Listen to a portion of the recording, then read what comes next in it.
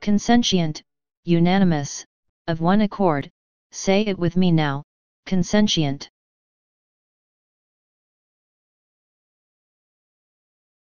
Please subscribe and thanks for watching.